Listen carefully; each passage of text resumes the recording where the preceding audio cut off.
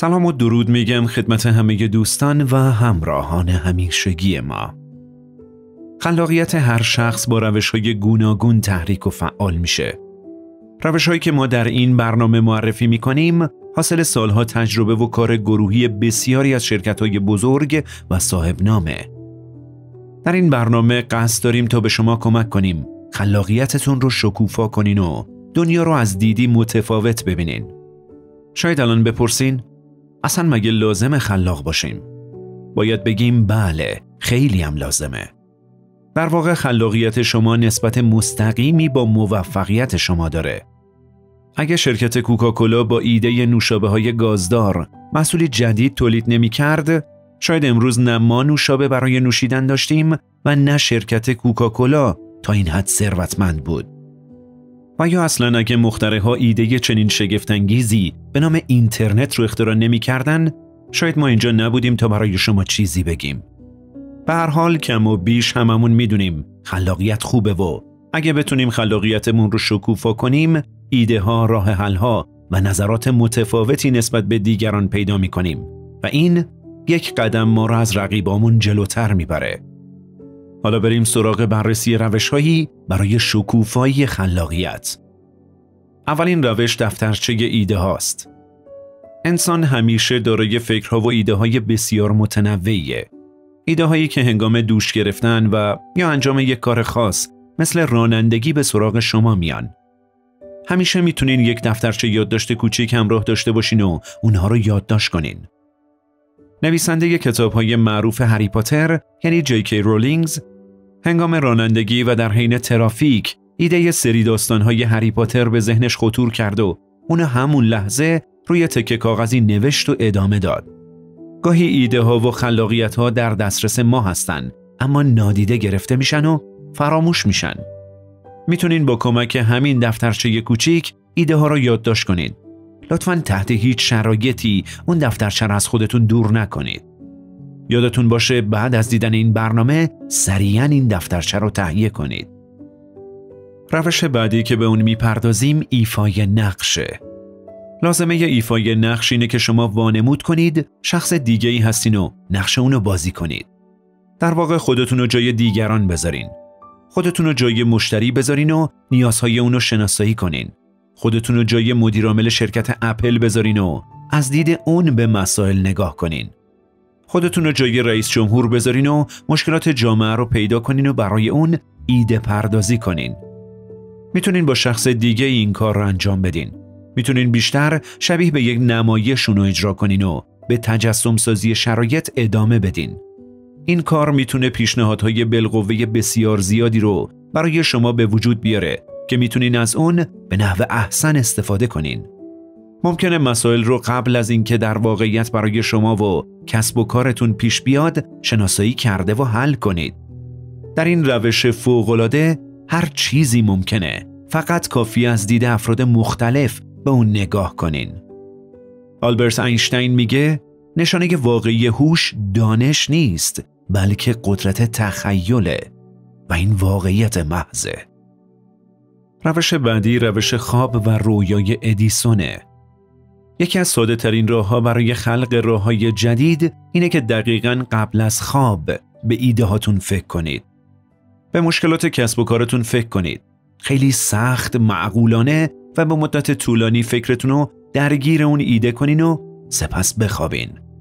در نهایت تعجب می‌کنین که صبح اون مشکل یا مسئله و یا ایده راه های جدیدی برای خودش پیدا کرده. میشه دلیل اونو در زمیر نیمه هوشیار یا ناخودآگاه جستجو کرد. زمیر ناخودآگاه هیچگاه نمیخوابه و همیشه به محاسبه و حل مشکلات می‌پردازه. در حقیقت زمیر ناخودآگاه تقریبا پنج برابر زمیر خداگاه یک مسئله را مرور می‌کنه. اگه قبل از خواب اونو فعال کنین با روشی که گفته شد می‌تونین از قدرت حل مسائل اون استفاده کنین. توماس ادیسون اغلب از دوره های کوتاه خواب برای پرورش ایده های خودش استفاده می کرد. اون روی صندلی میشست و در حالی که به ایدهش فکر می کرد به خواب می رفت. ادیسون مدعی بود که این روش بهش کمک می‌کنه تا با استفاده از فعالیت زمیر نیمه هوشیارش در حالت نزدیک به خواب و خواب به ایده های جدیدی برسه. راه های مسائل پیچیده اغلب در خواب و رویا ظاهر میشن. مثلا مفهوم مولکول بنزن در حالت خواب به ذهن فردریک کلکول رسید. وی در خواب ماری رو مشاهده کرد که دم خودشو گاز می گرفت. به این ترتیب دریافت که مولکول بنزن یک حلقه بسته است و نه یک حلقه باز. یا رابرت لویز استیونسن نویسنده معروف که اغلب از زمیر ناخودآگاهش برای خلق ایده های داستانی استفاده می کرد میگه شخصیت های دکتر جکیل و آقای هاید در رویا پیش اون اومدن. تا اینجا روش های گفته شده روش های ابتدایی برای ایجاد خلاقیت در شما بود. اما در ادامه روشی بسیار کاربردی معرفی میشه که در همه زمینه های خلاقیت میشه از اون استفاده کرد. روشی عالی که شرکت های بزرگ دنیا از اون به عنوان محرک خلاقیت استفاده می‌کنن. این روش روش نقشه ذهنی نام داره. نقشه ذهنی ابتدا توسط تونی بوزان از گروه روش های یادگیری در انگلستان طراحی شد. این تکنیک بر اساس یافته های پژوهشی استواره که نشون میده مغز در درجه اول با مفاهیم کلیدی و به شیوهی مرتبط به همون یک پارچه کار می‌کنه.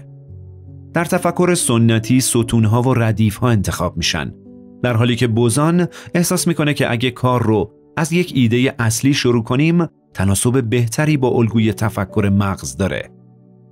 مغز همچنین نیاز به جاسازی ایده هایی داره که به ایده اصلی ربط دارن. برای دستیابی به این اهداف بوزان تکنیک نقشه ذهن رو طراحی کرد. نقشه ذهن یک فرایند فردی طوفان فکریه. در طوفان فکری شما علاقه مندین به تعداد ممکن ایده خلق کنید.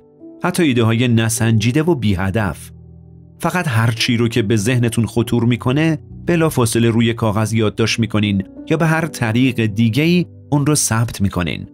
کمیت اون چیزیه که به دنبالش هستین نه کیفیت. هیچ گونه انتقادی در طی جلسه طوفان فکری مجاز نیست. بعدا می‌تونین به اونها برگردین و یادداشت‌های خودتون و یا یادداشت‌های دیگران در شرایط گروهی رو نقد کنین.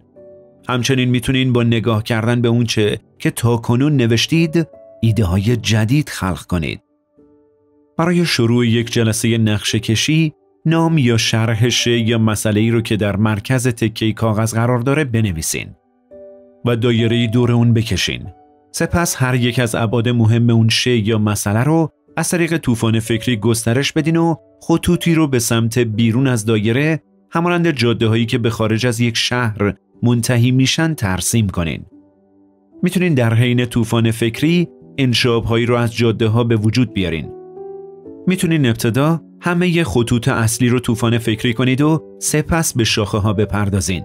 یا اینکه یه خط و شاخه های اون رو بررسی کنید و یا اینکه هنگامی که افکار در ذهن خطور می‌کنن از مکانی به مکان دیگه پرش کنین.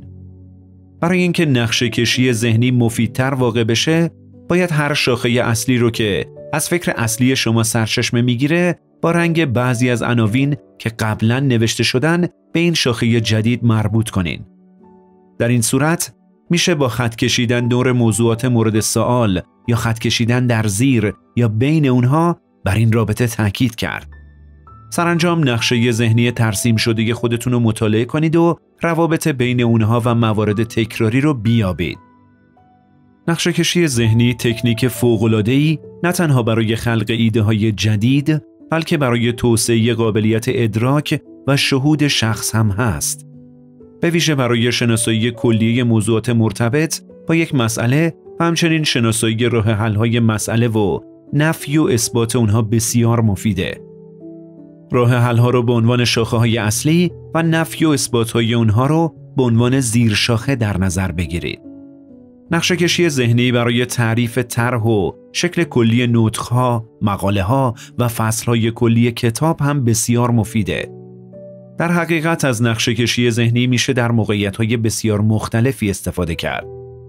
برای مثال شرکت اینترنشنال فوکس که در پیشبینی های مسائل اجتماعی و تکنولوژی ها بسیار موفقه از نقشه کشی ذهنی برای مشخص کردن روندها و پیشبینی دوره های زمانی تغییرات قبل از وقوع اون استفاده می‌کنه.